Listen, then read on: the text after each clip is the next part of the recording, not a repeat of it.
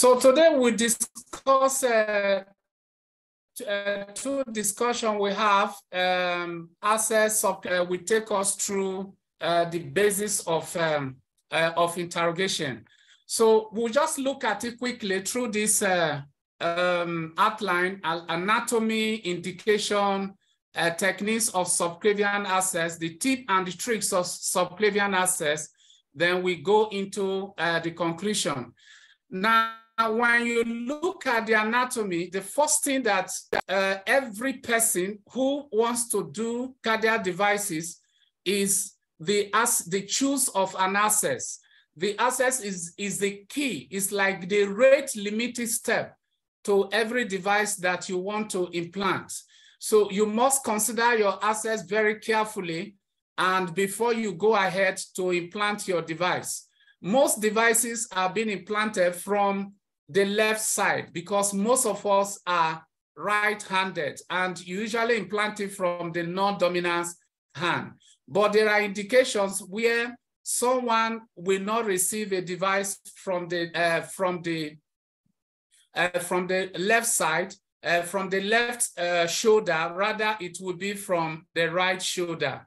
Uh, one of them is that if there is an infection or the anatomy is, uh, is, uh, is, there are a lot of uh, um, uh, congenital abnormality in the, uh, in the anatomy around that region that we uh, choose your choice of moving the device to another, another region.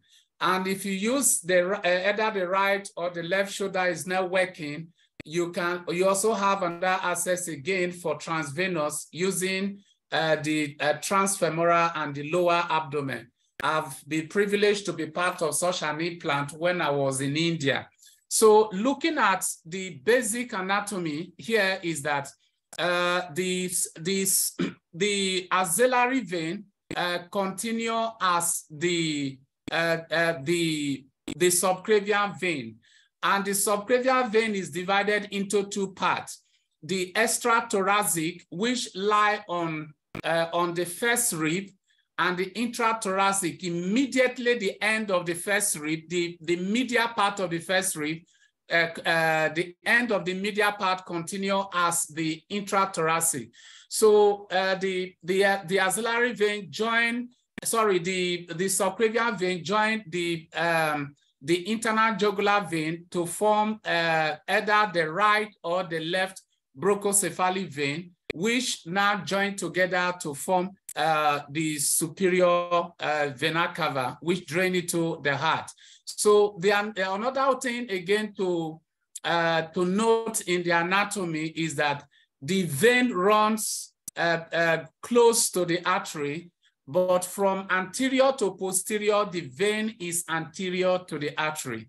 So these things must be noted carefully when you are operating and when you want to take an access. The another, another key thing is that the closer you get to the clavicle, the, um, uh, the, the medial end of the clavicle, the vein become more of uh, superficial, more of uh, more of a little bit superficial, while the artery become uh, more of a little bit deeper. So this is also the anatomy of uh, the veins and other various veins that also drain into uh, the either the subclavian vein or uh, the directly into the superior vena cava. A key example of them is the azygos vein. You must also notice note it. For example, people with um, uh, chronic renal disease and uh, many other chronic conditions have failure. Most of all these um, uh, most of all these uh, veins uh, which drain the which drain the which drain the hepatic system uh, we become more prominent and they drain all manner of things within the uh, body. So here is uh, uh the conference of uh, uh, Korotkov. Conference of Korotkov simply means the point where the, the two um, bronchocephalic vein met to form the, the superior vena cava. So looking at the, the vein, you can see here, there are so many things in this diagram. But what I want us to bring up here is that you can notice that the clavicle is here yeah, you can see my cursor around the clavicle is pure, purely labeled here. Then you can see the vein and the artery just posterior to it. And a little bit, uh, uh, the vein a little bit bigger uh, than the artery. So these are things that form your choice of anatomy. One, get closer, while we still describe when you are talking about the landmark, where you have the media to third. So get closer to the clavicle and the way you should go to uh, do your various uh, uh, punctures. So what are the actual indications for uh, subclavian access? Uh, subclavian access is one of the uh, the the cent central venous as, access. Apart from the subclavian access, if you are doing a central central line or catheterization, you can also use the internal jugular vein or the femoral vein. These are the key things that we use for central line catheterization. Many other reasons that make you to use it, not just only pacemaker, you can use it for a central, uh, a central venous pressure monitoring. You can also use it for uh, administration of multiple uh, drugs and drips, like even amiodarone, um, IV amiodarone is best given through the central uh, vein. Then also, um, uh, this popular drug we usually use, um, adenosine, is also best given through the central uh, vein. Then high volume fluids, for those that needed resuscitation, you also best give them via there. Then emergency venous access, you is, is good that you go for this uh, for the central veins and they give you a good way out, especially when you know the anatomy. Then also uh, inability to get uh, uh, peripheral access is another key thing that also help us. Then uh, repeat, people also use it for uh, venous sampling. Uh, then people also use it for, apart from medication, especially all these anti-cancer medications that, that can be used, dialysis that can be used. we talked about pacemaker, and um, these are all the reasons for, uh, for central venous uh, access. Now, as uh, uh, the going through a central venous access like the subclavian vein is not without any complication. The commonest complication you usually notice on the subclavian vein puncture is uh, either hemorrhage or pneumothorax. These, uh, these are the commonest complication, but in a in the hands of a very experienced operator, these complications are less than 0.1%. Uh, so thrombosis can also be there. Arrhythmias and arterial puncture is also another common thing that people also see in, um, in all this uh, um, in central uh, venous access. Now, what are the techniques that we use as we're now coming back into uh, um, uh, access for cardiac devices? What are the techniques that we can use for cardiac devices? I will, dis I will start with the ones that we don't use commonly here, then end up with the one that we use commonly here. Now, number one is ultrasound guided. Ultrasound guided is a key thing. Let me just show it here. I listed about six of them. We have the ultrasound guided, we have the fluoroscopy guided, we have the, veno, uh, the venography, sorry for all the mistake in spelling here, uh, the venogram guided, the blind, the blind puncture uh, using uh, landmarks and the uh, coronary wire assisted can also be done or a combination of any of these can be used uh, during the procedure. So in the ultrasound guided, either you do it from uh, from the left or from the right uh, subclavian, the first thing that you do here, you can see the probe at the corner here. You take the probe the way it is, uh, looking towards the shoulder and uh, a linear probe and scan it through. You will see the vein, uh, run it through. And while doing that, you may also see there is um, uh, the shiny layer that you see around here. This big uh, hypoechoic lesion here. This is the vein. Why this is the artery. Then you see a shiny layer around here. This is uh, the uh, this is the pleural space. So that that guides you on ultrasound help you and guides you that you should not go beyond that pleural space because if you go beyond that pleural space, you are likely going to cause cause hemothorax. And as you scan the, uh, the ultrasound through, you will see that how the vein moves and how you, you now go into, uh, then turn the, uh, the, uh, the marker towards the head uh, to slat it into a long, longitudinal view. And when that is done, you now take your puncture and direct your puncture. The, the key thing about this is that when your needle is going through the tissue down, the tip of that needle should be captured by the uh, by the ultrasound. If the tip of that needle is not captured, you just withdraw it back and take on uh, take a direction where you'll be able to see it uh, being captured. You can see the pleural line here, which I talked about. Then above that is the uh, is this uh, subclavian vein. Then uh, just posterior towards the subclavian vein, you have the uh, the artery in that line. So ultrasound guided is quick and it's simple and uh, it, uh, it, it gives you a very quick delivery and it gives you where it tells you where when you uh, you land into the vessel you visualize it purely and your procedure can be done easily. So this is what i talked about as the the subclavian vein. This is the uh, the longitudinal view and when you go into the longitudinal view you have to slice as your needle goes in you should be able to see the tip of the needle that is the key thing for this puncture. If you are not seeing that tip of that needle, withdraw it back and advance it along the, the line of the ultrasound for you to visualize it so that one, once you get into the vein, you know that you have entered into the vein.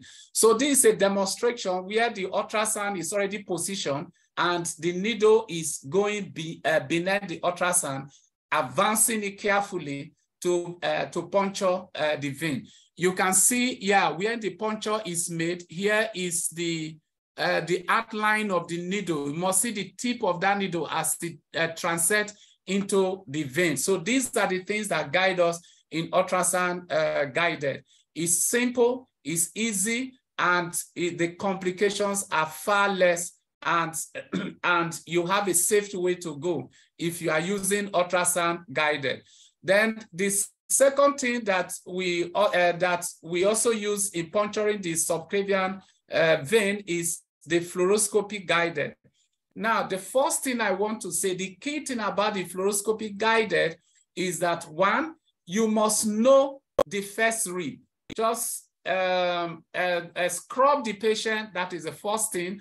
Once you scrub the patient, obey all the sterile techniques, then scrub um, the, uh, the C-arm then what, sorry, wear the sterile uh, uh, band on the C-arm. Then uh, vertically, the C-arm looked at the first rib. You can see it here. This is the first, the first rib is here. See the clavicle, the first rib. Now that first rib, when you're on the first rib, you can see the first rib and the second rib.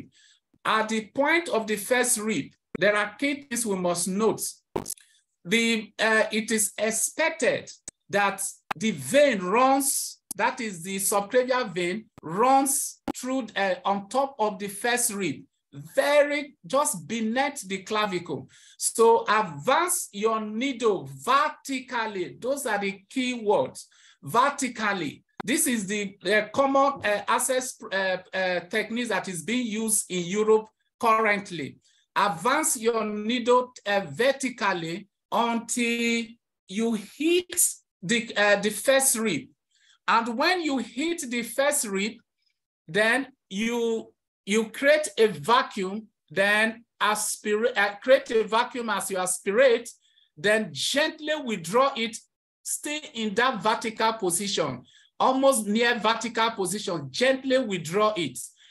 And as you gently withdraw, you see a tinge of blood that just enter into it. And when that happens, then take out the uh, take out the syringe and advance your wire. In, in more than 95% of time, you will enter into the vein and you will not have any problem in either a second or a third puncture of any kind if this procedure uh, if you have a very good knowledge of this procedure. So that is the key things. I've explained the key things about it. Vertical under fluoroscopy, locate the first rib, locate the clavicle, and you notice where the uh, the clavicle, the first rib, be, a little become vertical immediately after it transcends below the clavicle. That is where the uh, the uh, the subclavian vein is, and as I said, don't puncture below the first rib. Advance it until you hit the first rib vertically under fluoroscopy. Once you hit it, then you are you you take your your you you you apply your your vacuum aspirate, then gentle withdraw. Then a tinge of blood which a tinge of venous blood will just enter. Then take out the uh, the, the the syringe and advance your guide wire in more than 95% of time, you will get it once. So that is the key thing for this uh, puncture. Then the, the venogram and the venography is this. Now, the venogram is that um, I remember in uh, when I was still training in India, uh, where I was in Apollo Hospital, we usually do a venogram before we start, we take any puncture. So the venogram, if you are your center is the one that does venogram with what I describe as under fluoroscopy puncture, they are all similar. So you can even try it, get a venogram, see where the subclavian vein go through, then take uh, the fluoro, uh, the, uh, on, uh, under fluoroscopy puncture, you will notice that that vein goes through the same point that we just described above. So see the first rib here, see the first rib under the venogram, then see the clavicle. So you can see where that first rib is, just at that point, very close by, advance, just take your needle here vertically to that point and puncture. But on that venogram, you have seen it, on, on venogram, while the venogram is going on, you can even puncture direct, you can puncture the axillary vein. And the beauty of getting into the axillary vein you will have no uh, pneumothorax or hemothorax in uh, puncturing axillary vein because you didn't enter into uh, the pleural space. That is one of the key things that we must uh, uh, realize from this discussion. So you can see the first rib here. I've talked about this first rib here, axillary vein. Axillary vein uh, uh, is a continuation of the bronchus of the brachial vein and the brachial vein, uh, uh, sorry, brachial vein continues axillary vein, and axillary vein stop at the point of the first rib, and throughout the uh, length of the, the, uh, the, the horizontal length of the first rib, the vein that lie, the part of the vein that lie on it is the extra uh, thoracic, uh, extra thoracic subclavian vein, and that is the point of our puncture. If you are going for it either by fluoroscopy or by venous puncture. You can also try it, um, do a venous puncture, combine venous and fluoroscopy, you will have fantastic uh, result. Then the other method which uh, I also want to describe here is uh, uh the method of what we call, what we describe as the blind method use uh, using the, uh, the landmarks. Now, the issue of, about blind method, this is the first method uh, that have been invoked before all these other methods start coming up. This blind method is still commonly used in the sub-Sahara Africa. Now, I want to advise on some issues about the blind method. Number one, you must know your anatomy. That is one key thing about the blind method. You must be very vast in your, in your anatomy. There may be variation, yes. But if you know your anatomy and the landmark very well, you won't have problem of having either a pneumothorax or hemothorax with blind method. It will be very, very minimal.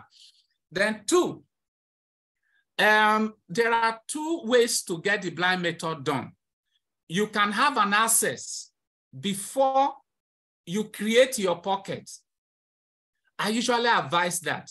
But some people are training centers where the access is created, the uh, you create you create the, the the pocket before you get an access. So whatever method that you are familiar with, the description is similar. But let me take the one of getting an access before creating a pocket. What you do here is this. Once you scrub the patient and you prepare the patient sterilely, the first thing you will do is that take your lidocaine. I usually use lidocaine, 2% lidocaine with adrenaline. Inject deep. That is the key thing here. Inject deep, because I usually train my fellows that there are two ways to inject this lidocaine, the deep and the superficial. So your aim of injecting deep is that you numb all the area at, at, uh, uh, going towards the, the clavicle and also inject around the periosteum of the clavicle. So when you have done that, then as a beginner, you can get the landmark.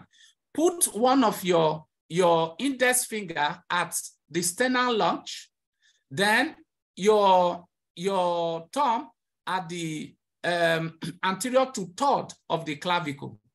You will see a straight line that connects the two together. So when that has been identified, I'm describing as, it, as, as for a beginner. When that has been identified, the second thing you will do is that put some saline in your syringe and enter into, uh, into under the skin with your needle, your puncture needle. Then advance the needle. Just mark that line, advance the needle. That is the keyword. Advance the needle to hit the clavicle. If you try it tomorrow, you get it. This procedure, I do it every day. So that is a keyword. Advance the needle to hit the clavicle. Needle hit the clavicle. Withdraw the needle then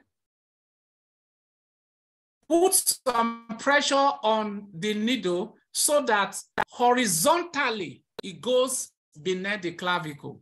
Just a little pressure on it horizontally, it just and just horizontally go towards the stellar launch the other hand.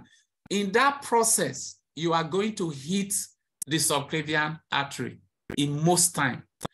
The key thing here to avoid pneumothorax and hemothorax is that the needle should go horizontal on the plane of your of your advancement should be horizontal. That is how the needle should go. The needle should not go oblique while going deep down. No, horizontal. That is the key thing. If you try it once, you don't get it, a little bit horizontal, just manipulate it around. You will get it there very fast. So why we take a little time to describe it is that this is the most common method that is being used in the sub-Saharan Africa. It is not only uh, cardiologists that implant devices.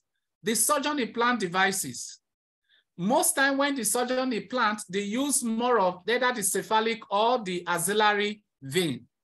But most time when the cardiologist implant, they use more of either the axillary or the extrathoracic uh, subclavian vein. So this is how the variations are. And since I've been doing it, I've not gotten anyone hematoma or pneumothorax. So you can see the outline here. You put your hand, just the supra sternal lunge. Then you see the deltoid groove here. Then you are just anesthetize deep along this tract. Ensure that your needle actually go deep so that you numb that distance down. Then take your, your index finger on the sternal launch. Then your, uh, your, um, your thumb, your thumb can be at the two-thirds and, and uh, the medial two-third of the clavicle and just navigate, ensure that that needle is always horizontal. Doing that, most time you are going to puncture that vein. Then, if you are the type that like creating a pocket, before getting an access is that once you create that pocket and you want to get an access from a pocket, you have already created a depth. So you don't need to move that needle in, uh, in, in, in any form of oblique. Just take that horizontal step, that horizontal, because uh, after the skin, you, you come to this, uh, the subcutaneous layer, then the fatty layer. After the fatty layer is the is the uh, the the fascia that uh, that overlies the uh, P major. Now, the depth will depend on the level of fats that patient has. There are some patients that don't have enough fats, so you have them, you don't have that, that very deep depth. Why some have so much of fat and they have a lot of depth. So whatever you are dealing with, ensure that that needle go, go horizontal to hit the clavicle, then navigate it when you are creating it, when you are taking the access from the pocket. Those are the key things and still follow the same landmark as we described. Those are the key things that we must note.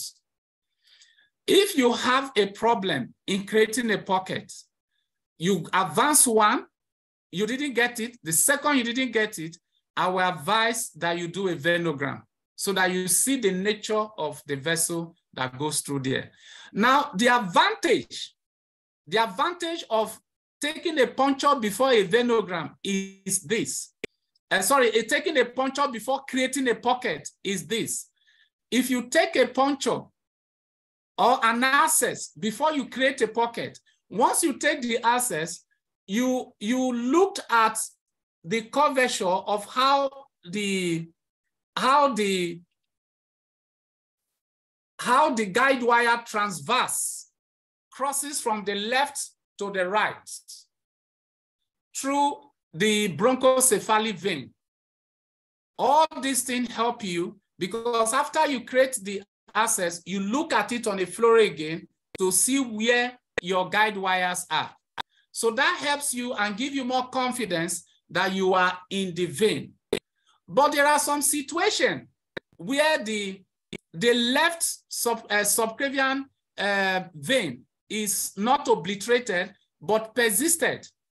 And when you create an, when you take a puncture, you just see that the wire goes down and uh, goes straight and go down and enter into the liver and it doesn't, doesn't transverse the normal uh, the normal J curve that we go through from the left to the right, you will get it. So if that exists, what you can do here is this. You can leave the wire there, then take an angiogram if you want to be sure of where you are.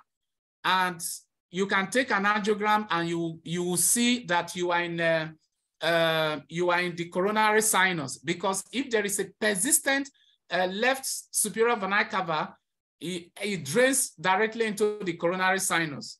But that could have been sorted out if you are doing a, a pre-procedure, if you are doing a, um, a echo, you look out for the coronary sinus. If the coronary sinus is abnormally large, suspect um, a, a, left persistence uh, SVC. Suspect that for such group of people. So these are some of the things, maybe during questions, we may be able to answer many of the questions. Then another key thing, another advantage of uh, doing a venogram before you take any procedure is that if there is a persistent left SVC, the venogram will show you. You will, not, you will notice that as the drainage comes, it drains directly into the coronary sinus. It doesn't cross to the, to the right side of the patient. It just drains directly. So you see the outline drain it directly. So you can move to the other, to the right and take your punctures from there and move on. But there are some people that we also implant even when they see a persistent um, a, a persistent left SVC draining to the coronary sinus. So if you can do that, what are the things required? Do you have the hardware? Do you have the extra equipment to maneuver and implant your devices? If you are doing um, a CROT is very easy because you just straight away enter the coronary sinus. You don't need to look for coronary sinus. Then just take your, uh, inner uh, guide and uh, look for where the posterolateral vein is and implant is very simple. But if you are doing a single, chain, I mean, sorry, a pacemaker, and you want to enter into, uh, you want to enter into the uh, into the ROV, you may have some little challenge. That is all. Okay, so this also tells us the same direction that we have been describing the subclavian uh, vein, the subclavian artery. But I want to say it here that if by mistake, as you are, you are advancing, you mistakenly puncture the subclavian artery, there are key things to know it. One, the brightness of the blood. Two, the force, the force of the, of, of the pressure that will come that's as you take out your your syringe, your syringe, the uh, the syringe, the the the the force, the force, because arterial force is what arterial pressure is what you are going to notice there. So the force or pressure that will come out. So that tells you that you are in the artery. Don't panic. If you miss out inadvertently puncture that at once, don't panic. What you do is that just direct the, the needle more, just withdraw a little back then direct anteriorly. More because it shows that you went too more posterior. Direct a little anterior, you will puncture the vein. The same thing. So these are the key things that we should note when doing our punctures. So what are the tips? Uh, uh, before we discuss the tip, there is one I talked about uh, accessing uh, using coronary wires. Yeah, if you set uh, if you set uh, a line at the cubital level or the uh, or the or the brachiocephalic vein, you can actually pass a coronary wire through that line and it transverse all the way. And it gives you a way to go about and look at the direction of the vein because the coronary wire can transverse through there and get to the right side of the heart. So that is another way, but it's very rare. Nobody uses that. So the key thing is that either you use blind, you use uh, fluoro, you use ultrasound, or you use a combination of all this together. So what are the tips? The landmark, you must learn the landmarks. You must know the landmark and you must feast your eyes on the landmark. Then two, the use of micropuncture needle. In the US, that is what they use. Whether you are doing blind puncture, you are doing um, uh, fluoroscopy guided puncture, you are doing a, um, a venogram uh, directed puncture, you must use the uh, what we call micropuncture needles. I remember in Bayelsa, uh, I use them a lot there because Dr. usually bring them from the US. So micro puncture needles are key thing because if you puncture the artery or you inadvertently puncture anything that it's supposed not to be punctured, micropuncture needle will save you from having um, bleeding or pneumothorax. So after you use the micro puncture needle, you can now change over to your regular uh, device system and you can now move on with it. So mark, another key thing is another tip that we should also go home with that master each techniques and know it very well. Don't rush to learn technique, don't rush to learn everything without knowing one very well. You can learn the, um, in Sub-Saharan Africa, I advise you, learn the, uh, the blind puncture and be a master of it. Then two, the fluoroscopy and be a master of it. Then three, uh, the venogram and be a master of it. If these three, fine. Then follow the rules that guide each techniques. If you are using fluoroscopy, follow the rules. Remember, it has to be vertical. And you must hit on top of that first rib. Don't puncture beyond it. Vertical, almost vertical, and direct it. Then when it gets to the rib, before you now create a vacuum and suck back, in order then withdraw gently, a tinge of blood will enter. Once that enter is enough, stop, Take out the needle and advance your wire. You, you will get in there. Okay, so now looking at the comparison of commonly used central venous access routes, The axillary, the axillary access uh, gives us the risk of pneumothorax zero. Please forgot this uh, less than 0.1. Risk of pneumothorax is zero. Uh, cephalic, yeah, less than one. Why the conventional uh, is between one to two. So it depends on which one you want to use. Then we also look at the risk of arterial puncture in uh, uh, in as in the extra sub uh, uh, extra thoracic subclavian and axillary. It is uh, it is very low. Why the conventional conventional subclavian is using the, the blind method using the landmark. Obviously, risk of arterial puncture the, the, the source I checked said it is high. But what I will confidently say here is this. It depends on the experience. For a very experienced person, it's not high. But for beginners and low volume centers, definitely high. But if you try it and you have it, as I told you, don't panic just withdraw a little back. Don't withdraw the entire needle out, entire puncture needle out. Withdraw a little back and direct more anterior. You will get it. Okay? So uh, we also look at risk of lead uh, uh, lead crush. Yeah, is uh, is highest. Yeah. While you're on the subject of arterial access, um, I will do you have any suggestions about looking at the fluoroscopy to see if you're arterial as far as you know not taking the SVC route and then um, just from my own you know what I've heard in the field I haven't actually personally experienced this but if you do have arterial mm. access and you put a guide sheath in don't panic don't pull the guide sheath out because uh, until you until you have support from closure or somebody from, else who can help you yeah from the surgeon correct Exactly. Yeah, because if you pull that guide out, it's almost impossible to hold pressure and the patient can bleed out, which uh, I've heard of happening. 100% correct. Yes. It's good you raise this up. If you have an arterial puncture, it's good that you raise it. Thank you very much, AJ.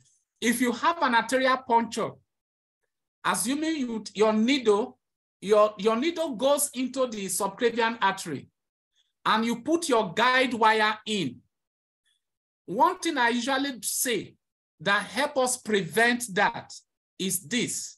Once the guide wire goes in and the needle comes out, always check the direction of your guide wire. Assuming you didn't notice that, because before then you should check all these things. The, the, uh, the venous blood is darker than arterial blood. Arterial blood is red. Then two, the force of venous blood, as if there is, you are not in the vein when you take out some of them as if you are not in the vein. I did a pro, I did a procedure today after church. I did a dual chamber pacemaker today after church. I was in the vein. I was telling my my my assistant that look at it. I picked out, I removed the needle. Uh, sorry, I removed the syringe and looked at it. I said there is no drainage here, but there, we are in the vein. We passing our wires and it goes well. So once some people still have, maybe the pressure may be a little bit high, so you have it draining out more. But what, even with all that, you must look at the direction of the direction of, of connection of that wire. If you didn't go from the left to the right and goes into the right side of the heart, and it goes right from the left, it transverse from the left and enter into the heart, you must check further before you make any dilatation. And if by mistake, you, as the AJ uh, uh, pointed out, you make a mistake to, uh, to put a sheet on it, please don't take that sheet out. You have to get a help because if the, there are a lot of uh, bones around here, you cannot hold pressure. Don't take that sheet out. Wait for help. And when the help come, before you can take that sheet out. And the surgeons have to be available. Okay. So uh, looking at the various incision, the commonest incision we usually do around here, AJ is, uh, uh, is our transverse incision, but you have all manner of incision that are described in the book. So any incision that you are used to, please stay with it. But most time uh, for uh, subclavian uh, access, transverse incision is usually what is recommended. So blind puncture method you, um, using the anatomy is the most common method that are still used in the sub-Saharan Africa. Um, but we should learn the other methods that are uh, that are now used in Europe and also in America, especially the fluoroscopy and also the um, this um, the, the venogram uh, method. We should learn all of them. So in our center, we usually use a combination. Can use the fluoroscopy. Can, once I once we puncture once and we didn't get it, then fluoroscopy coming, and the fluoroscopy uh, most time we will get it VM. Hardly do we do venogram. So this is hard, but if fluoroscopy fails, then we'll go into venogram. So I think this is the little discussion we have today. Uh, AJ may take his own before we get our questions. Thank you very much. AJ, over to you. Yeah, so I guess before we completely switch subjects, I I appreciate this is fantastic. You going through all this. I think I interrupted you when you were mentioning um, like Clavien crush and lead issues. Were you yes. able to shed some light on that for like the subclavian access has a higher instance? Yes, if you look, very good. If you look at uh, uh, risk of lead crush here, is is highest with the conventional subclavian uh, as, uh, access because the conventional one is the blind one you just take and you move. You don't know at what point you puncture that particular, um, you puncture the particular vein. That is one. Then two, uh, another thing again that we should also take from it is that if the clavicle is big, because it depends on the space between the clavicle and the and the vein. If the clavicle, there are some people that have bigger, some people have bigger clavicle than others.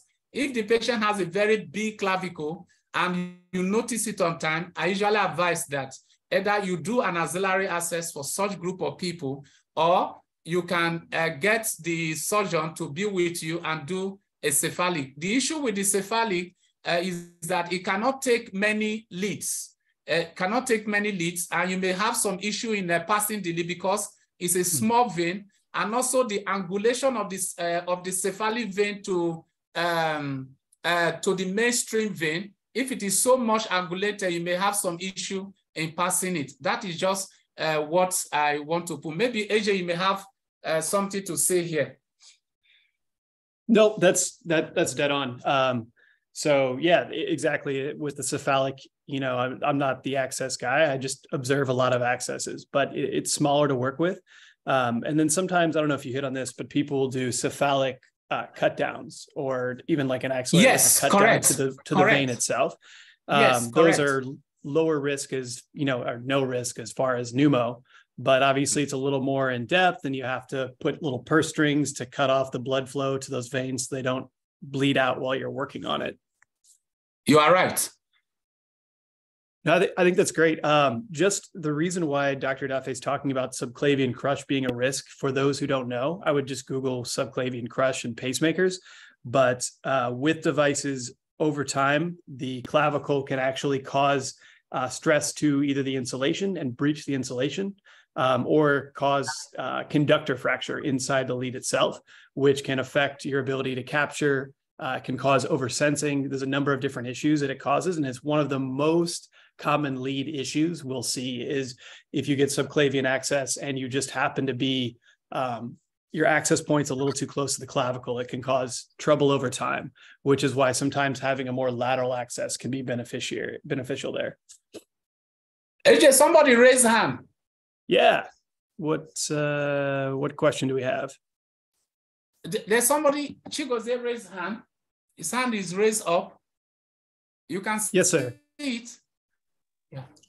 Okay, thank you very much, uh, Dr. Edafe. And uh, thank you, sir. Uh, for the wonderful presentation. Please, I just want a few clarifications. One is, you know, you are talking about uh, the direction of the puncture being vertical. When you were describing, uh, I think the fluoroscopy uh, guided access. I wanted to know what you mean by vertical. You know, I thought uh, it was supposed to, really, yeah, like you said, target the clavicle, then come out a little and go under it under function. So I really wanted to understand what you mean by.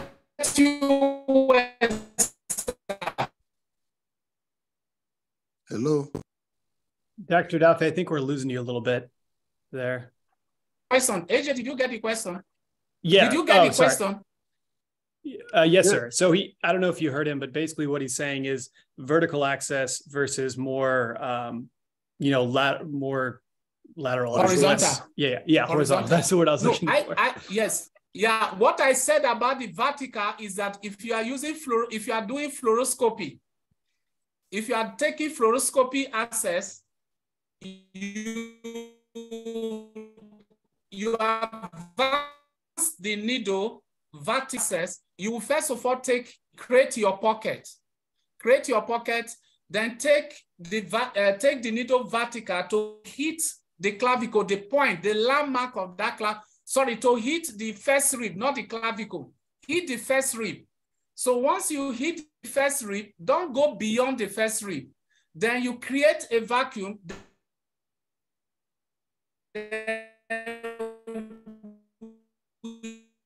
gentle withdrawal, the needle, sorry, into the syringe on a gentle withdrawal. Blood goes into the syringe, then take out the syringe and advance it.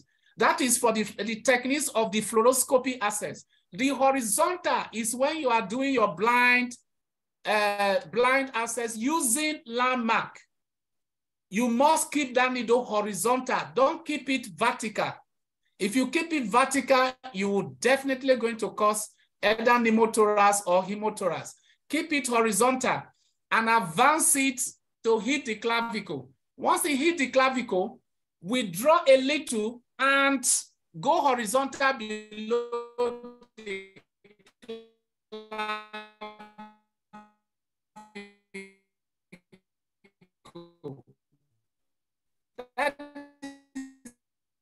the key word. Withdraw, a little withdraw, then take a little pressure.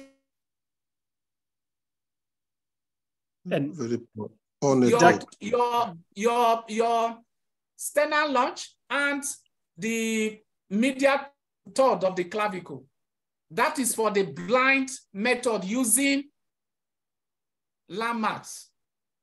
Okay, th th thank you, sir. Then se secondly, I want to know, please, what yeah. are the possible limitations of uh, uh, doing uh, securing subclavian access in the absence of a cath lab. Let's, you know, there are some people that uh, use, I think, just a C-arm or so. A C-arm to implant. Yes, yes that is what if, I if, mm. Yes, if you, don't, if you don't have cath lab, how, which, which is the best approach to use for puncture? Very good. You mentioned all this most of the pacemakers that are implanted in Nigeria today are not done inside the cath lab. Many of them, because it's not only the cardiologists that implant pacemaker, the uh, cardiothoracic surgeon also implant pacemaker in the country. So many people do implant pacemaker in the country. So one thing I would say here is that the commonest method that is currently being used in the country is the, uh, is the blind method using landmark. If you are uh, experienced with each method, that was why towards the end of the, uh, of the talk, I was talking about each method, you must learn it and be vast in it. If you are vast in the blind method, more than uh, more than 90% of or 95% of time, you will get your access once or twice approaching it. So it's for you to be versatile in it. The commonest one is the blind method using the landmark. That is still what we use currently uh, in the sub-Saharan Africa. But even with your C-arm, sorry, with your C-arm, you can actually uh, uh, uh, you can actually put uh, a, a, sterile cloth or a sterile uh, polythene polythene on the C-arm and you can also take the same method of a fluoro because you it's just for you tell your operator to move the C-arm to the right location where it will beam on the clavicle and the first rib and give you a space for you to manipulate your hand vertically and go down and pick uh, and take your access. That can be done. There's no problem with that. And when you're talking about a C-arm or a cath lab, you're generally focusing on an AP view, uh, correct? Yes, AP view. Uh, yeah. Yes, AP view. All of them are done in AP views. So one of the things Correct. you had mentioned as far as the vertical access, I, I, think is you're using that rib as a backboard. So uh, yes. that's why that's you why hit you're the able rib, to vertically mm-hmm. you go down, vertically mm-hmm. go down and hit the first rib at the point where it make contact with the clavicle. Mm-hmm. Hit the first rib. Then when you hit it, then you now apply uh, a vacuum then withdraw a little. You just see blood going in because that is where, mm. most time, that is where that vein passes through. More than 98% of time, you hit the vein once and you move on. Mm. So I, I, just had a couple more things uh, to add before we switch subjects. And if you have more questions, please jump in. But you talked about, you know, doing the pocket first. One thing I would say is if you're not experienced with access, I would avoid making the pocket before you get access um, I've right. seen a I've seen a physician that had that struggled with access, and they would send other hospitals with bilateral pockets and no access. Oh my god! so maybe just they switch the other side, you do a pocket, and still couldn't get access, and the patient comes across, you know, and then we're like, okay, we know who did this one. You're right. Uh, so You're right. Struggle with my, access. In my practice, in my yeah. practice, I I take the the access first before creating the pocket. Yeah, there are reasons for that. I want to know where those uh, those uh, um, uh, I want to know where the uh, where the uh, the guide wire goes to. Mm. Because I'm yeah. not uh, most time I don't do the venography, so I want to know where the guide wires go to, so that I'll be sure I'm in the right mm. location before I go and create a pocket. That's that's a really good point too, because you could end up having to go to the right side, right? If you've already made the pocket on the left, now now you have a pocket that's not even viable. So if you're not doing a venogram, I think that's a really good point. Is probably don't right. do the pocket. If you do a venogram, you All know right. it's open and you're confident. Yes. Then fine. Yes. If you are doing the venogram, you are confident that mm. you will transverse through the right route, so you can create pocket and move on. Very correct. Good learning far, points as far as helping patients out, um, you know, if they're if they're low on fluid, you could try giving them fluid or lifting their their legs as well to increase um, blood to the uh, you know to the more superior part of their system, no. so you have better access as well. Do you have any other suggestions aside from fluid and lifting legs for access issues? Uh, the issue is this, um, you know, as uh, as you, the more experience we get with this as, uh, access uh, uh, access into the vein, mm. the less you are being traumatized. Uh, one is that some people suggest that you you turn you turn the uh, the patient towards your side where that the vein fills up and all those stuff. I don't do them. I have done. I don't do them. I, I puncture once and move on. And one key thing is that there are some vein, like the case we did today, when we will enter into the vein, if you are not careful, you will know you are not in that vein. You will know that if you are not careful, you would think that you are you are not in the vein. Just a small tinge of blood that came out. I knew that was already in the vein because I tracked through the right direction. I knew that was there. So I just take the needle out and pass the wires and everything was fine. So if you uh, if you are still a young operator what I will advise is that you can use some of this maneuver. Then two, if the patient is on Lasix, you can uh, you can um, you can you can withhold the Lasix before you get access, and after access, you give the Lasix to the patient. So these are some of the maneuver. You know, the issue here is that uh, if you are doing a pacemaker, you require most time you require just two uh, as, uh, access, or you can get one access and you you turn it into two and you move on. But if you are doing a CRT, you require three accesses, three access, and the three access are different puncture, especially the LV, uh, the LV lead has to be on its own. Yeah. And most time, uh, people require that the LV lead comes from the subclavian vein. So if you can, in that case, you can combine the fluoroscopy and the venogram and you get your way out. So the, the thing here is that the safety of the patient and the happiness of everybody. Yeah, I think I think you made a really good point that the best access point is the one you're familiar with, right? Like if you're very good at yes. one method, you shouldn't necessarily change to another method. Don't change anyhow. With, yes. Um, I, I, see the hand raised. Just one thing you were talking about access points. One thing we you can mention is uh, there is a double barrel technique, and we can go over this in person or uh, with actual, you know, um, with actual sheets mm-hmm. to show you. But there is a double barrel technique where you can uh, double the wires and then pull your sheath out and then put the sheath back over the wire. That allows two um, access in one. Exactly. And there's also yes. a retained a retained wire technique, Correct. which is where you'll uh, for you'll, young operator. Hmm. Yes, for young operator, I usually advise them if they have problem with uh, with access, access hmm. they should do that double barrel technique. Um, you can do it for pacemaker and it's fine, but you can't do it for a CRT. Mm-hmm. A exactly. CRT, the LV lead has to be on a different uh, uh, access on its own. So you yeah. must count all those things so that you don't uh, displace the other lead because the, the, the, uh, the advantage of the double barrel technique is number one, you puncture once and it's quick for mm. you hmm. to uh, change over, but you lost more blood because in the process of changing over, the ble patient bleeds.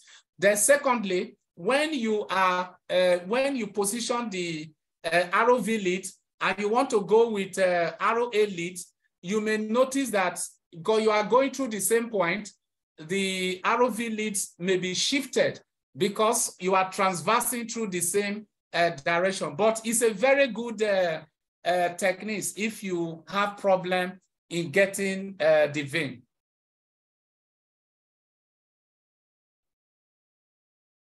Fantastic. Um, I yeah. think there's one more hand raise. Um, was there anyone else who had one question?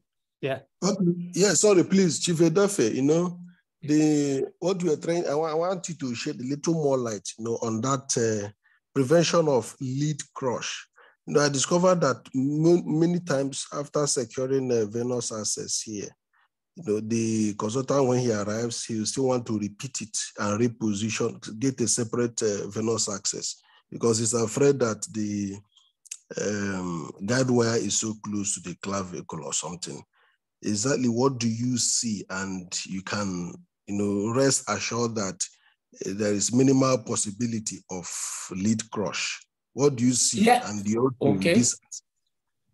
Yes, the, the issue of the double uh, double barrel uh, techniques, which AJ just talked about, if you are using it, what our advice is that one lead should not be on top of the other leads. Ensure that they are, they are horizontal among, they are horizontal, they lie horizontal. Because what causes a lead crush is that uh, you know that between the clavicle and um, and the vein, there is there, there is a space. So if the clav if you are dealing with a some, someone with a big clavicle, uh, that space is reduced. Or if you want one lead transverse on top of the other lead, that is vertical on top of the other lead, passing through the clavicle, when the patient will start moving hand, when the patient will start moving, you see the distance will reduce and the tendency of a lead crush will occur. So these are the things that you watch out for. That is why experienced operator, when they come, they don't, they looked at the thing and say, no, no, no, no take another as, uh, access. For an experienced operator, access may not be a major problem to him. That is why you notice that when the fellow take an access, uh, the, uh, the consultant comes and tell you that, no, no, no, we can't take only one, let's take another one. The consultant takes another one because he's experienced with it. So these are the little, little things about the issue of uh, crush. They, they should not lie on top of themselves. They should be vertical if you are using the same access to pass two leads. They should be horizontal among themselves. Check out for all those things.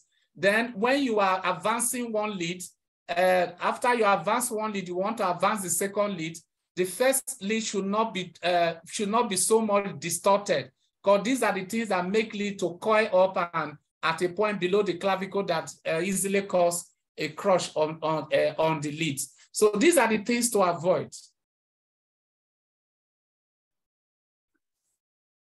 Fantastic. I love that input. All right. Um, any other questions from the group at all? Okay. So it, we're already about an hour into this. Um, I was thinking I could do a high level introduction of pacemaker navigation and just the external accessories, and then we'll just leave it at that. And then we can pick it up later for more advanced, um, more details. So, how about a just a, a high level interrogating a device programmer workshop, and then just navigating the programmer if that works for everybody. And then um, if you have specific questions in the meantime, before we have our follow up, you know, reach out to us directly, and we can answer it. But if that works, I'll go ahead and get started here. Yeah. Okay. Can everyone see my screen?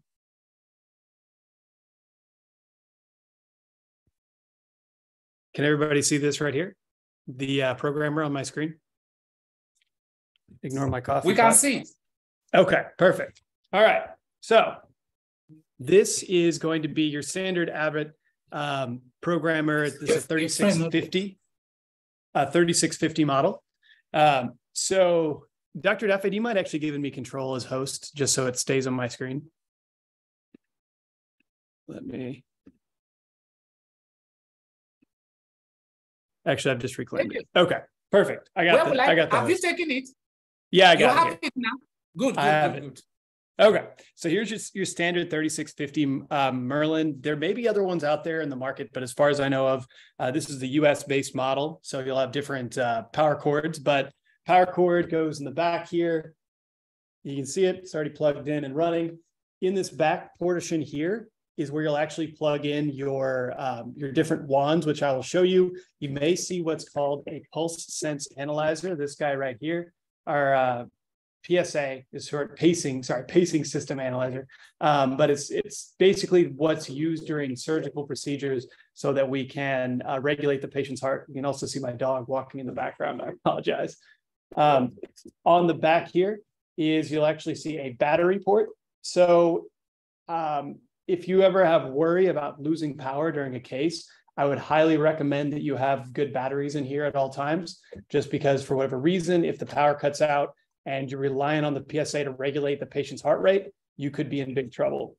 Um, inside this hatch portion here, there is a place for all of these wires and or your uh, your wands, and I'll kind of go through it. But if it doesn't fit, it's in the wrong spot.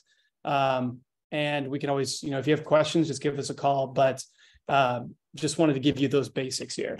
So if you have your PSA hooked up in the back, you have your standard wands this will be your induction wand. This is similar to what you'll see in Medtronic and Boston devices, which we will have somebody go through a program programmer tutorial at a different time. But uh, this is actually how we communicate through inductive telemetry with the device. All of the devices, for the most part, on the market have inductive capability, except for the Confirm RX and Jot DX uh, loop recorders. The rest all use induction to communicate if you need to. You also have what's called an RF telemetry wand. So all of all of our older devices, for the most part, um, who have remote telemetry options, used RF. The newer ones use Bluetooth, and then some are induction only. RF has a higher transmission speed than inductive. So if you have the ability to use one of these, I'd recommend using it. Just keep in mind that pacemakers only uh, have about an hour of RF telemetry a month. Defibrillators have about three hours. So if you run out of telemetry, you you lose the ability to communicate and it'll have to switch back to inductive. If you see here in this corner, this indicates whether or not wands are hooked up to this device, to this programmer. So this little uh, X through the Bluetooth symbol, that means that this little Bluetooth guy is not plugged into one of the USB ports. So I'm actually going to plug this in a USB port and you'll see once it detects the, uh, the dongle, this little red X, if you can see it, will go away, which means we have Bluetooth capability. This allows us to communicate wirelessly with our Gallant devices And then down the road, you may see it uh, incorporated in pacemakers that you're coming across. But for now, pacemakers um, will use either induction only or RF telemetry for remote interrogation. There are additional USB ports here on this left side of the device, just underneath the flap. I'm not sure if you can really see it, but there is USB if you need it. Um, those are other ways to hook up. Looking at the programmer itself, you have your shock button just in case you ever need to give emergency therapy with an ICD. If it's a pacemaker, it's not going to do anything. You have to be actively communicating with the device. You have your emergency VVI button. This will show you your outputs when you switch to emergency VVI. Just keep in mind that it is unipolar. So it's going to use a unipolar pacing. If the device is outside of the body and you hit this button, it's no longer going to be able to capture um, unless it's touching something metal that's touching the body or soaked in a wet rag, possibly. Um, because unipolar, you don't you need to have a closed circuit. If you ever need to run paper, these are your options. The sweep speeds are printed out here. 12 and a half, 25, and 50. Those are just, if you ever hit that button, it will immediately start running paper.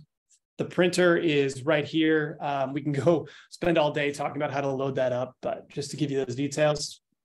Um, when you actually have a device, and a wand is connected, uh, you have the ability to interrogate. You press interrogate right there. It will speak through induction to make initial connection. Once a connection is made, if you have a remote telemetry wand and the device is capable of communicating through remote telemetry, it will disable the induction wand and it will move to the remote. Um, but that is through the interrogation button.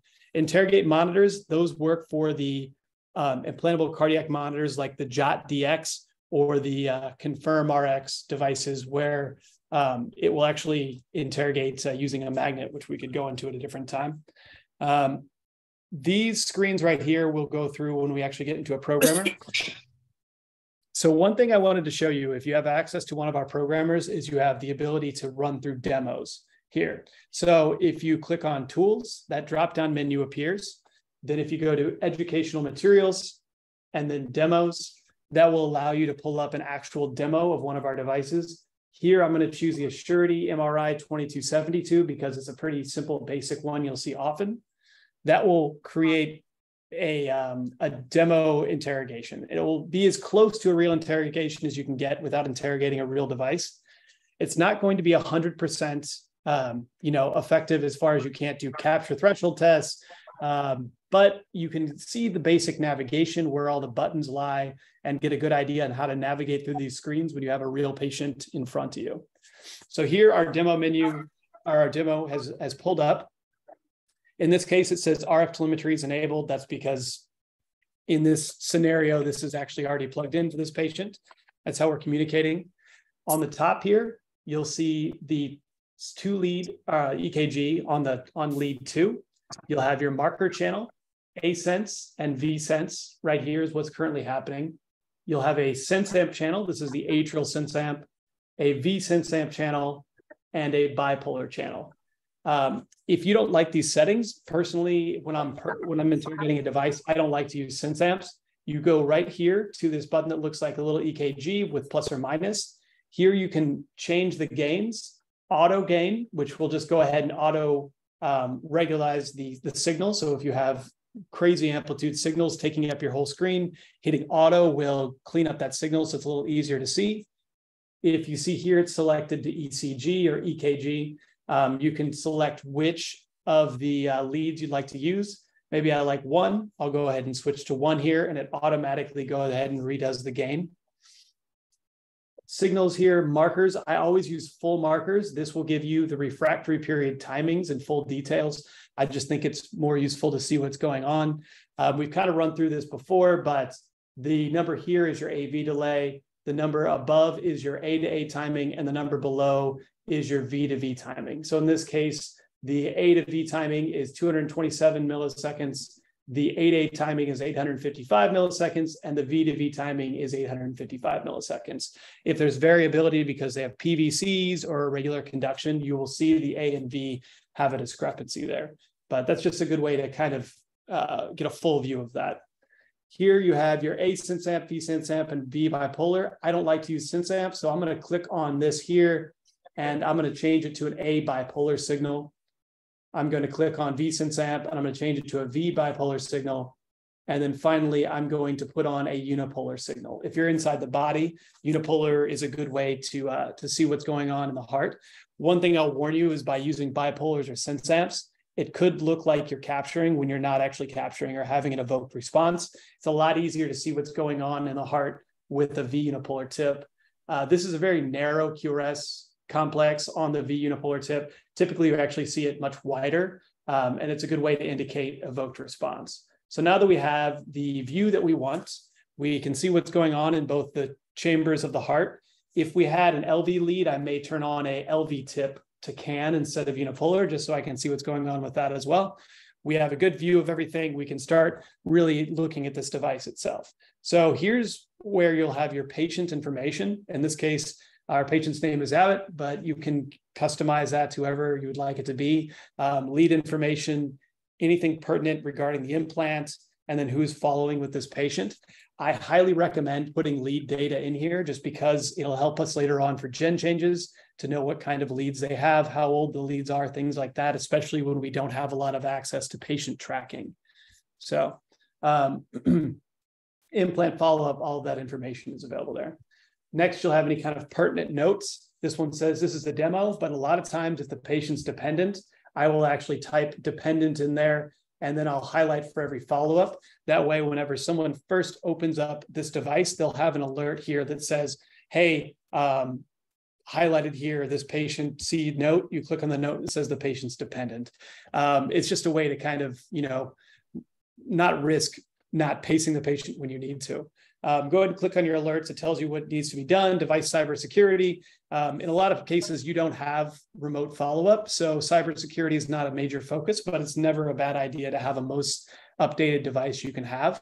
Um, high ventricular rate episodes, anything pertinent that we need to know about would be flagged there as well. So we know our alerts. We'll go ahead and look at this first fast pass screen. This will show you just a high level of everything, your longevity, which is how long the battery is based on current usage you can click here and drill into that. This will show you your longevity um, voltage drain. You'll tend to see this drop and then it'll follow this pathway over time. So um, it's just a way to kind of monitor what um, what kind of battery we have left. If you have sudden jumps in this, a good thing is to look at battery current or any kind of drain issues. But if you have questions regarding the battery itself, just give us a call. We're happy to help you out or just message the main group and we can take a look at things. Here we have our test results. These were all run as autos.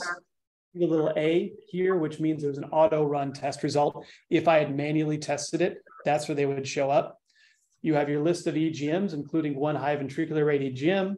You have your basic programming information, which you can click into these and drill deeper. You have your pacing percentages, which means you know this pace is 11% of the time in the A, 24% of the time in the V.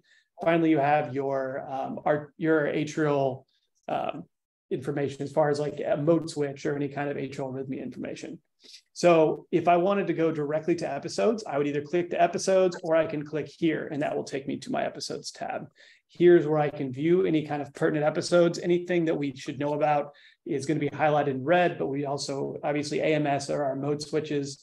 Um, so if we're looking for AFib, we want to take a look at those if someone has previously interrogated this device but hasn't cleared out the episodes, you can view those by clicking include old episodes.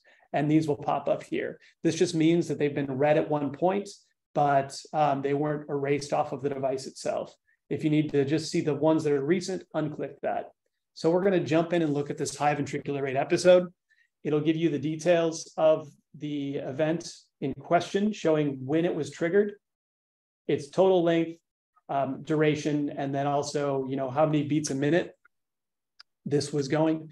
Um, you can see here you have more V's than A's. Unfortunately, there's not a unipolar um, field, which will usually make discrimination between SVT or VT easier. But in this case, more V's and A's is pretty uh, pretty straightforward that that has ventricularly driven um, and should be uh, monitored, even though it's not necessarily relevant as far as you know a getting a defibrillator or anything like that. Uh, let's go to the next episode here. Here you can see they've had some sort of AFib going on. It looks like AFib, not noise, but you never know. You want, might want to look more closely. You can see here in this case, the device starts to track the high atrial rate. When it reaches um, enough to mode switch, it then goes to a ventricular based timing and allows a patient to induct or to conduct uh, intrinsically. All right. So we've seen that screen. We've seen how to get to episodes. You can click directly um, or click on the other screen. The log screen will give you a list of all the episodes we've seen, breaking them down by type. Um, and then you can also drill in here and see the episodes and actually click into the EGMs from there as well. So there's there's many ways to get to the same thing, uh, I guess is what I'm trying to show you.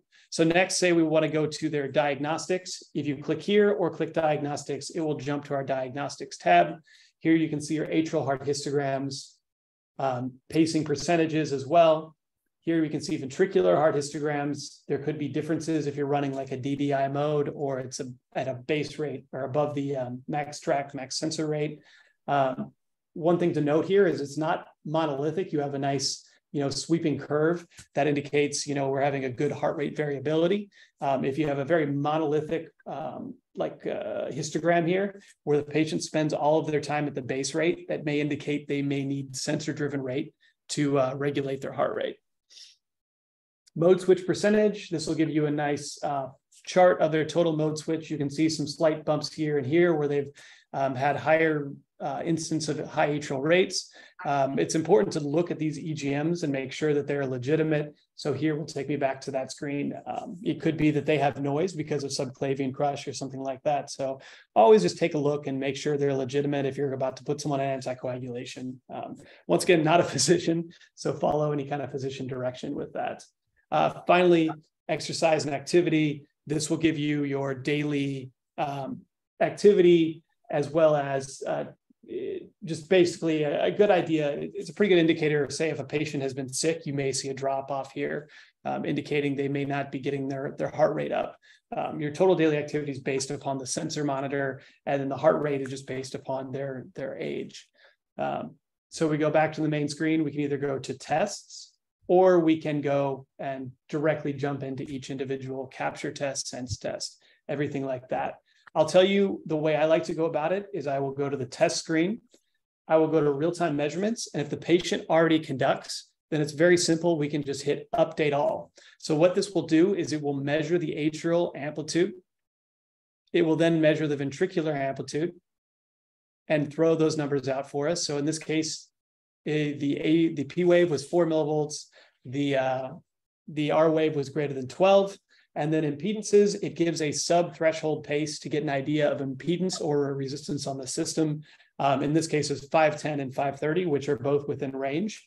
Once again, though, when you're talking about staying within range, it's important. It's also important to look at lead trends. So if you click on the lead impedance, you can actually see the trend over time. And we can see it's, it's nice and flat here. Same thing, we're going to take a look at the ventricular, we're looking for a nice stable trend. If you're seeing trending up, if you're seeing trending down, that can indicate lead issues and it needs to be monitored, especially in patients um, where you're worried about noise causing inhibition um, or lack of capture, or maybe oversensing causing therapy with an ICD.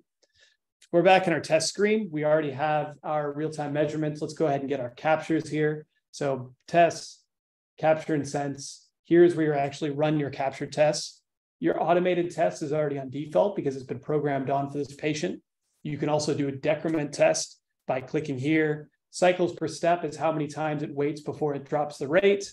Um, and then specifying pulse amplitude or pulse width.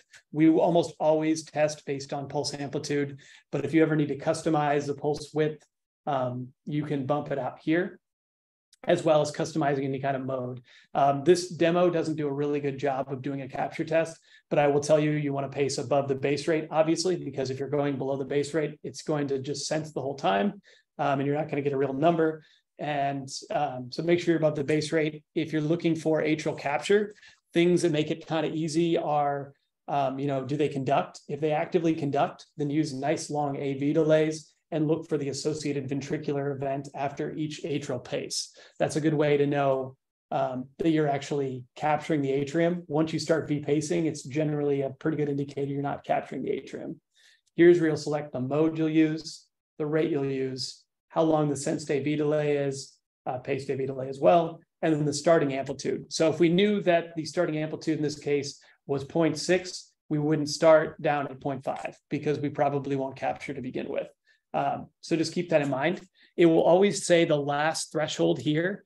If you manually tested it and you said the threshold was 0.25 in the ventricle, it will save that and show it the next time. If the threshold was actually five, then you might still think that the old capture threshold was was 0.25 and you'll come in too low and not capture. So always take that with a grain of salt. If it's a dependent patient, I recommend starting higher outputs or being ready to uh, stop the threshold test right away, just so they don't, um, you know, don't have uh, go without pacing.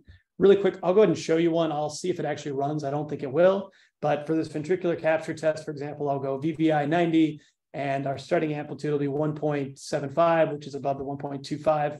I'll hold to test if this was a real event, um, it would actually go VVI. In this case, it's actually going DDD, and we're pay, we're pacing. Um, it's actually a pretty good indicator here. I let go when I think I lost capture, and then it will bring up a review screen here. Here you can see that I V-pace, there was an evoked response. I V-pace, there was no evoked response. This was a conducted event, which means I lost capture here. If you click anywhere in this box, but it may be easier just for you to click on the little green flag, that sets your capture loss, which then puts your threshold at 0.25 above that. So I lost capture at one volt. My new threshold is 1.25. So that's your basic navigation for your capture tests, your sensing, and your impedances. Those are the real ones you're going to have to worry about. Um, everything here as far as battery and leads that just gives you your battery information impedances uh, sensor. If you wanted to uh, reset the autos for your sensor i wouldn't worry about that. NIPS is if you ever need to do a non-invasive pacing study. If you're not experienced with doing this i would highly recommend not doing it but it is there for people who know how to do a pacing study. And if you do know how and you just need to help navigating a programmer just let us know. Here you have your modes uh, for temporary pacer as well. So you can always go into temporary pacing screens and play around with outputs with anything like that before you permanently program. So we've made it through all of this. Next, we can check, check out our programming parameters by either clicking on the parameter screen or clicking on mode here um, and bringing that up. That'll bring you to your first page, which is Brady. If this was a defibrillator, there would be a tachy screen. Um, Brady is how you see your basic operations, your rates, your delays, capture and sense leads, refractory and blanking, and any kind of mode switch ATAF response. Um, each one of these you can drill into. So for example, we want to see the mode. Uh, we click on basic operations mode, and here you have the ability to program the mode DDI. Um, if you want to turn the sensor off, so come up DDDR, you'll just go to sensor and either click it passive or off. For example, if we have a patient coming in for a gen change um, and we know that they are dependent, we have the ability to go DLO. Um, if we know that um, you know they, they conduct, then you can just go DDI or DDD. Uh, but things to keep in mind there. I would not have the sensor on for a gen change because when the device comes out of the pocket, it could cause it to pace at a higher rate. Also under your basic operations screen, um, you have your magnet response, which is going to be the magnet mode pacing. You have your V trigger response off. Uh, I don't turn that on unless you have a specific reason to do that. Uh, noise reversion, if a patient's dependent, have your noise reversion set to an asynchronous mode. If they're not dependent, that's at your discretion if you want to leave them at a non um, async. But I would say um, you would probably want to have um, either pacing off for non-dependent um, but for dependent patients, you want to have asynchronous just so they have that backup pacing. Rates, this is how you customize your rates, your AV delays, any kind of hysteresis that you may have. Um, sorry, not AV delays, uh, your max sensor rates. Delays are here. Here is your paced AV delay. If this was DDD, your sensed AV delay. Um, VIP, this is how you would program VIP on if you were trying to allow, um, similar to what Medtronic calls their MVP, and this is just allowing intrinsic conduction. Um, but if you need to customize this, give us a call and we'll talk you through it. Um, capture and sense, always make sure you have a two to one margin if you're not using autos for your output. So if the threshold was um, was two in or one in the atrium, then make sure you're at two volts. If you go less than a two to one margin, and I program it here, um, you will have, uh, well, it's not in this case because it's not a good demo, but it'll it'll be flagged here when it shows you your margin is not ideal. Let's see. Okay, there we go. So here I went below margin, it highlights it and says, hey, your margin is only 1.2 to 1. So it's just a little warning here um, to make sure. Just remember outputs in Abbott devices above two and a half volts tax the battery a lot more. So in those cases, playing with the pulse width can help. Once again, call us if you have questions. Auto sensing algorithm versus fixed sensitivity is handled here. Um, just keep a two to one margin at least with your sensing. Um, ideally three to one if you can, but uh, that's just a good way to go about things. Lead information, if a lead is unipolar only, or if the bipole stops working, you can switch it to a unipolar um, programming, and this will just allow for capture um, if you're having issues with the bipole. We'll just keep on moving here. Refractories and blanking, this is where you'll change your PVARP. Um, if you have risk of pacemaker mediated tachycardia, PVARP is going to be a big one here. If you have issues with atrial blanking, where you're blanking atrial events, you can mess around with that there. Um, and then just basic pace refractory, sense refractories, all this stuff is here, as well as your PVC and PMT responses. Um, moving along, here's where you'll have your mode switch information. And this is just a way to, uh, oh, Jared, I just see your head, you have your hand raised, sir. Hey, mate, uh, can you hear me? Yes, sir. Yeah, I'm ha- happy to wait to the end, buddy. Keep going. You're. Uh, I don't want to break your momentum. All right, sounds good. All right, I'll keep plowing through, and then we can just answer any questions here at the end. Um, and then, like I said, we can uh, we can go over this more later. I'm going to be a go deeper in depth with the defibrillators as well as CRT. But here's your basic stuff here. Um, alert notifications. This is how you actually set your alerts. Now, because you um, you don't have remote you know, monitoring this, these are just more important when it initially prints out or you have an interrogation. This will give you your, uh, your high level alerts you should be aware of. You can customize any of these. Say, for example, if you want to have, um, you don't care unless it's 20 cycles of a high ventricular rate, you can make those changes there. Same thing with AFib. Um, you can also just turn them off. So if we know we have an issue with certain things, we can just flip those off uh, V pacing percentage. If we know the patient is dependent, we're pacing all the time, we probably don't need an alert for that. So alerts, you just use your, your common sense on that. Um, but that's just a good way of going through it.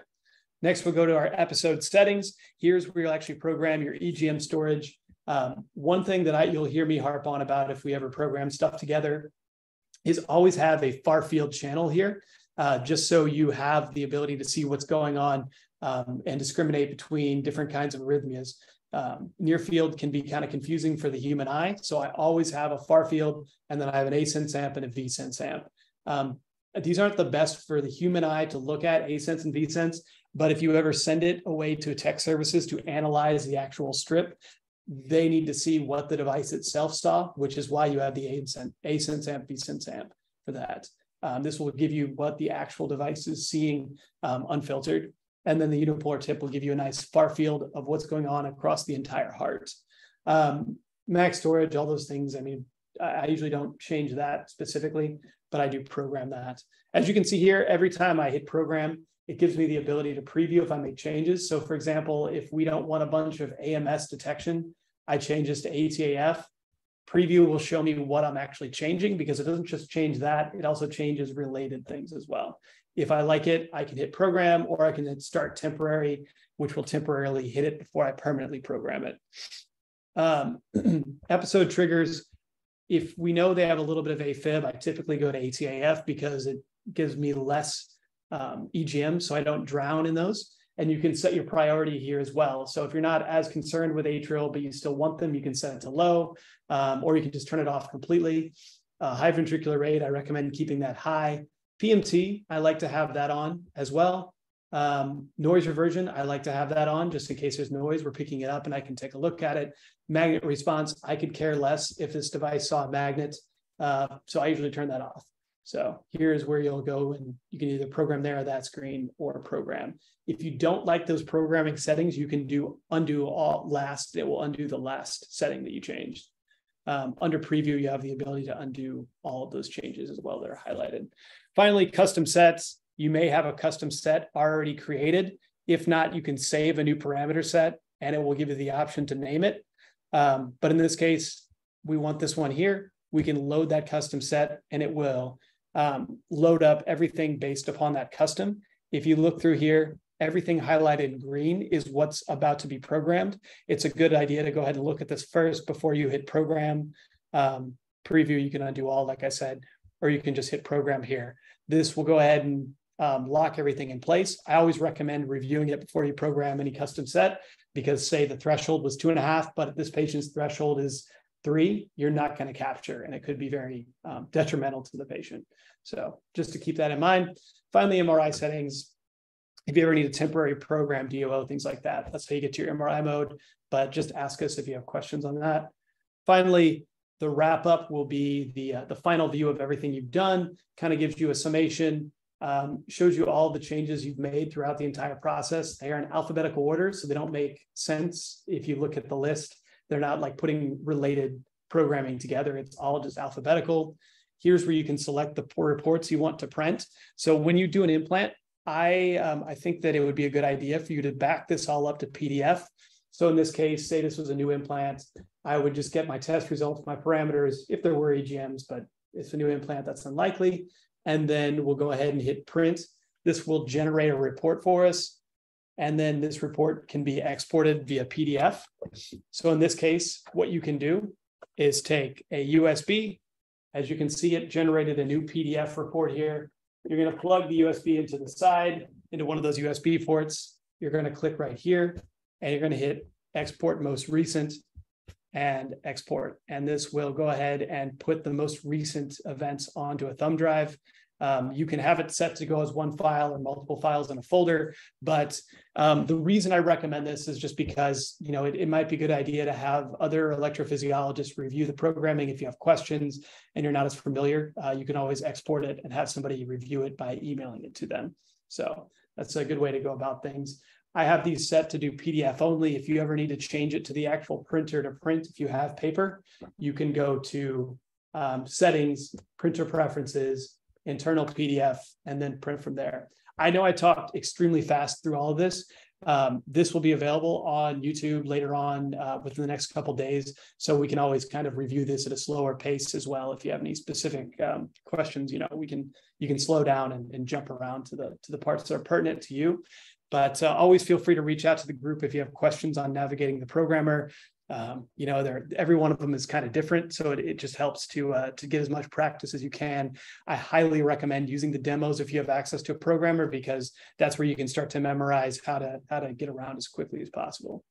All right, I, that's the high level. Why don't we go ahead and address any questions you may have? So I think Jared, you had something, and then if anyone else in the group has questions for me, please let me know. Thanks, AJ. Great summary, mate. That was really good. Um, got a couple of questions, if you don't mind. The first one, the the two big, scary looking red buttons on the programmer.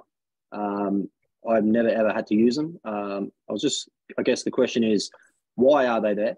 And um, when you do hit them, um, I assume you get a bit of pre warning. Like if you hit the shock button, you get, are you sure you want to shock? Do you get to select the joules? Because I mean, I'm, I'm sure a lot of people don't want to accidentally press that button in fear that something may drastically happen.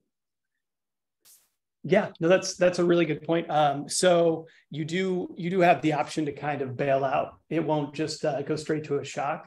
So sure. in this case, I'm going back to educational materials, um, and then I click demos, and then from there, I'm going to select the the Gallant, um, just because it's a it's a good one to, to go with here. So if you ever need to navigate that, I'm gonna go and bring this up. I do not know if the demo actually does it. So I'll let cool. you know no here in just a second.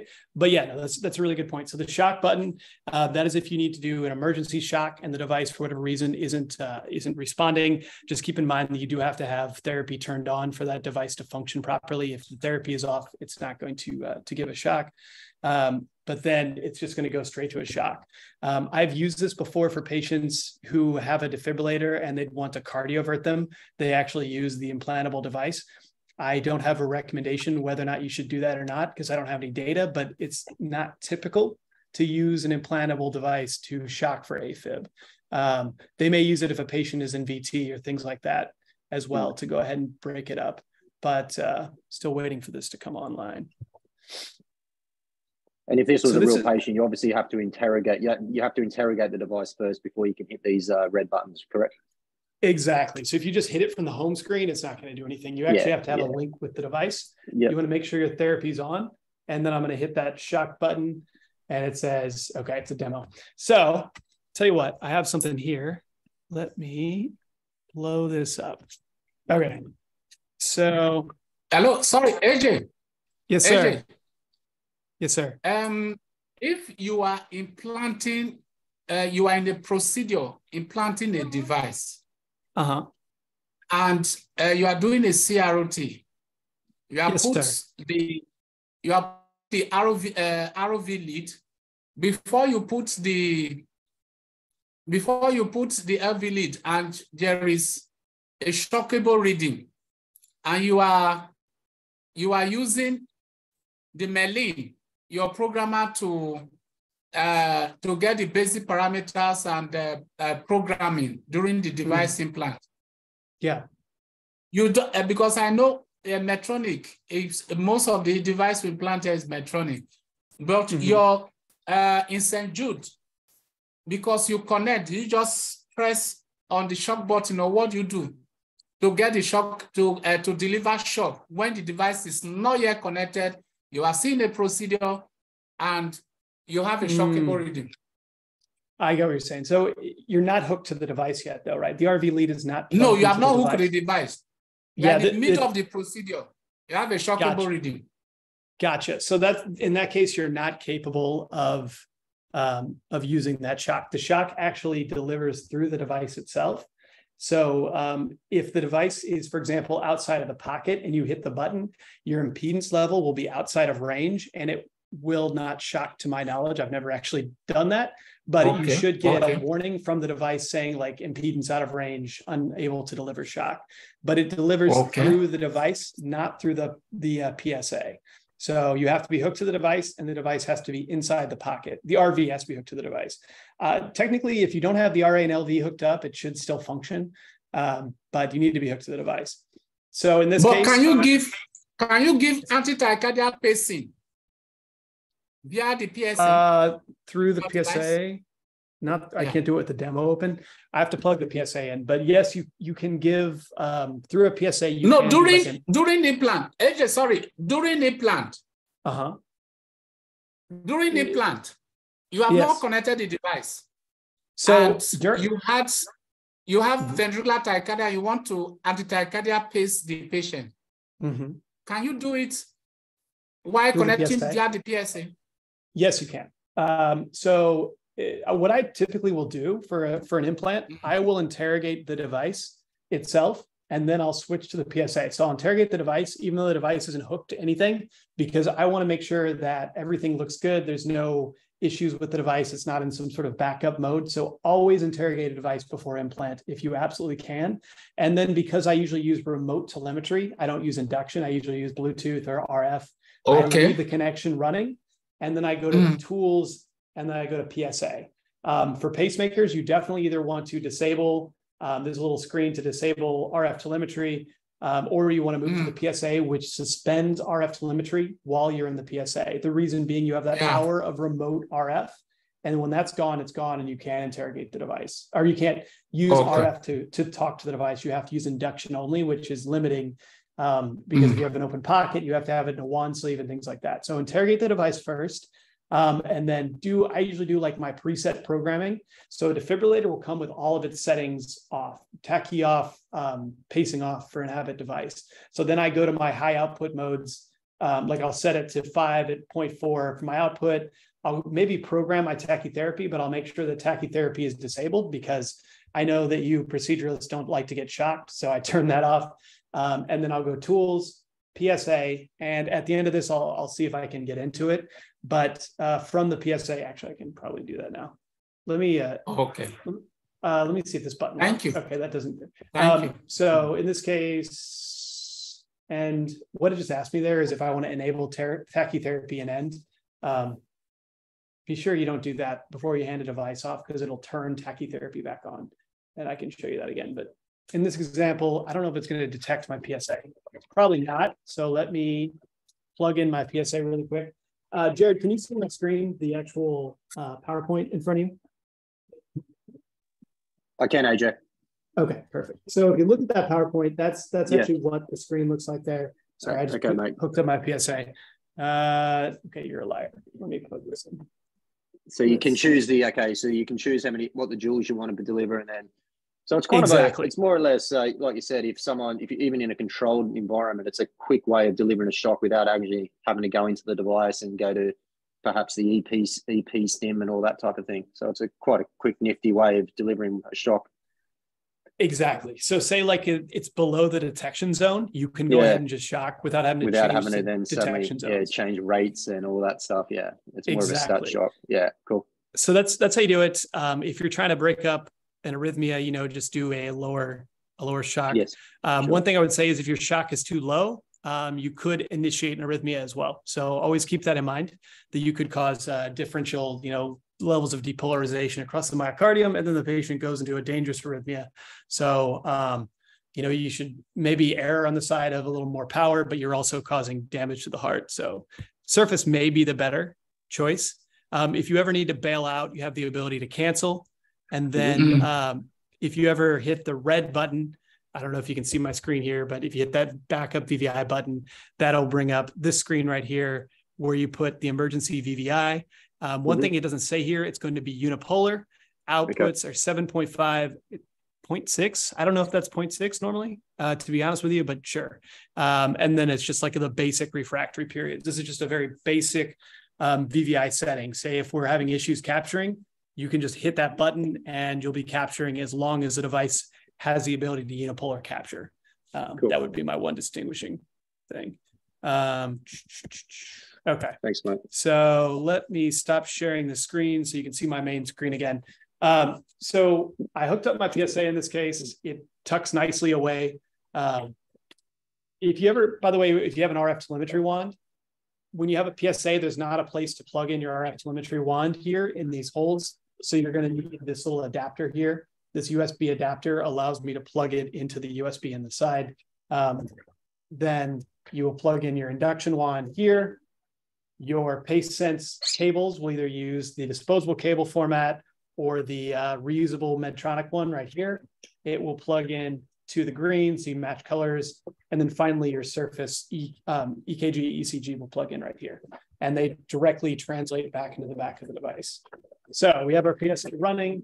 Um, if I had bad batteries, we might have a pop-up when I boot this up saying, hey, your PSA batteries need change, which it may. I'm going to go tools, PSA. Um, if you're already interrogating a device, you can still do this in a real interrogation. If you're interrogating a device, it will not bring up this screen. So if you're interrogating like a Gallant, for example, it's going to automatically give you the PSA for a Gallant. Um, so it's going to give you LV or RA, RV, LV. Um, if you are going straight to the PSA, it will, you have to choose which one you use. So if you boot your PSA first, it's, you're going to have to, and you don't pick the right associated PSA with whatever device you're getting, you may need to end your PSA session, which could be very uh, not ideal if the patient is needing pacing support with the PSA. So if you're go- if you interrogate PSA first before you interrogate the device, just make sure you select the associated. So in this case, we're putting in a Gallant. So I'm going to select CRTD and start PSA. If I had selected that and we were actually using Assurity, it will say this PSA is incompatible. Um, in this case, if you're using the Medtronic one, you know, it, it just uses the two options. If you're using disposable, you can plug the cables in manually. Um, I usually just use one cable typically, unless we have dependents. Here's your PSA here. Um, this is how you customize as far as like whether or not you want to turn pacing on or off. It's hard to do without a good example here, but a good indicator of greater than 4,000 means I'm not connected to anything. Um, pacing mode, you can customize the mode, but if you program it, it automatically changes the mode to VVI here. If I program it on here, it automatically changes to DDD. Um, if the patient's dependent, a lot of times I'm just going DOO, which means all of the all of these three are pacing no matter what. Um, and then I just have it at like a rate above, you know, um, say I'll set the device at um, 90 and I'll set this at 80. And then that way we don't have to worry about uh, getting inhibition because of Bovie causing us to not pace. Um, if, for example, Dr. Edafe talked about needing to burst pace this patient out, you can actually go to burst pacing here, and um, that will allow you to, um, you know, customize your S1 um, your amplitude, and anything like that. So, for example, um, oh, this is actually now that you mention it, let me go back, turn this to BI. In this case, say we had an intrinsic event. I should have showed you this in the programmer. You can always take a picture here. It'll bring up the um, it'll bring up a live like a screenshot of freeze capture. If there were atrial or ventricular events here we're trying to pace out of, you can then show your calipers and then measure out the uh, the total time. So in this case, say we if we had a ventricular arrhythmia that was 320 milliseconds, we measured it out, moving both, moving the left one, moving the right one. Um, it'll tell you how long the it is in milliseconds, and then from there, say the arrhythmia, the V to V timing is 309 milliseconds. I can go here and set my S1 at uh, lower than 300 milliseconds, um, say like I don't know 280, something like that. And then we can go ahead, enable burst and burst pace. This will then, in this case, is pacing the atrium. Um, this will then pace faster than the intrinsic rate, allowing us to hopefully gain control of, um, of the myocardium, the refract, control the refractory, and break up the arrhythmia. However long you hold it is how long it's going to go. Uh, sometimes you'll get it in five seconds. Sometimes you'll need to run a whole screen, which is around eight or nine seconds. Um, but uh, those are the ways you kind of pace out. All right. Other questions for me? Uh, yeah, mate. If I, I had a few, sorry. Um, the other no, one you mentioned, you, you mentioned you didn't, you don't like the uh, A and B sense amp. My understanding is that is that also a bipolar, but how does that difference? How does that differ to a standard bipolar that you generally select during an implant? Yeah, so I will. I'll be honest with you. I'm not an engineer, and we could get one of our engineers to go into the minutia of it all. But uh, it is a bipole, but it's an it's an unfiltered bipolar. It's the bipole that the device sees itself. So if you look at the actual signal itself. Mm-hmm. This may not be a great example because it's a it's a demo, but uh, if you look at an A SenseAmp signal, it's very um, it's very narrow and spiky. Like it's a very high. Let me see if I can gain this up. This is a bad example here. I don't think it's going to be great. Let's see. Okay, if you see here, it's just very spiky amplitude. Um, it's very hard for the human eye to discriminate this right here. So this could be capture, but a lot of times your own pacing artifact looks very similar to a SenseAmp signal to a human eye, just because we don't have the ability to, to see, versus a bipolar will give you more of a wider traditional view of things, which is a little bit easier to discriminate capture versus non-capture um, or morphology, things like that. Uh, uh to the human eye, I recommend two bipoles and a unipolar is the ideal setting. However, if it's a new implant, I don't have a unipolar on here um, just because when they hook up to the device, it's just going to be all over the place because the device isn't in the body. So in that case, I just have, I'll have like an A bipolar, a V bipolar, and then I'll turn this one off. Another thing with preferences, I like to have A above V. That was just how I learned because I, I, like to see yeah. the chambers independently. So I turn markers off here. I turn markers on there, make sure it's on full, click back on EGM here, and then I'll put a bipolar. I like to see both chambers separately. Uh, some people mm-hmm. like to see them together. I, I, personally, I think we have the ability to see what's going on in each chamber, and we should fully exploit yeah, that. Yeah, fantastic. Thanks, mate. Yeah, yeah, AJ, wonderful lecture. Yes, oh, thank you. Wonderful lecture. Yeah, I, I am. Um, you know, you are an expert in this, so you have to take it uh, a little bit slower another time so that a number of people can capture what you are uh, what mm. you are mm. pointing out to us. Yeah, good point. Um, yeah, no, I, I will definitely. This won't be the last time we review this at all. So eh, sorry if I lost you. You know, um, I will have this on YouTube, and you can always you can review it on yes. YouTube but um, exactly. I, we'll we'll also go through it like slower. You know, a lot of this is just getting repetition and just seeing what's going on as, as many times as you can until it starts to to make sense. I mean, it, every interface right. is different, and just trying to mm-hmm. take it in all at once is a lot. So we'll do another demo with the defibrillator, and I'll go through kind of what we covered at a higher level, and then get into tachy settings and advanced settings as well. Mm-hmm. So this won't be the last time. Um, but yeah, sorry about that for running through it, everybody. thank you, sir. Thank you. Great lecture. Any... Great lecture. Oh, thank you. Any other questions from the group at all? So next week, uh, uh, will Jared take his topic next week? Mr. Jared. Hello, sir. Yeah, you will me? you take your topic next week, sir? Yeah, what would you like? Your topic on uh, S, um, SVT, yes. supraventricular tachycardia. Yes, of course. Next week. I can do that for you. Okay. Fantastic. Good, thank you. Perfect. Well, if there's nothing else, I really want to thank you, Dr. Edafe, for your for your presentation earlier. That was fantastic, and I I know that it's good. Thank you very much to to cover that. So, I, when you were presenting, I opened the Merlin here.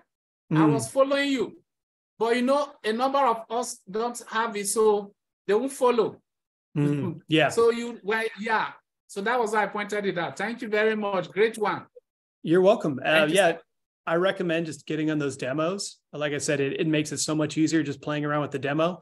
Uh, when I was first yeah, learning, that's important. all I did is I'd spend, I just eat dinner and I'd play around with the demo. And then eventually you start to remember where everything is just in your head. So it's true.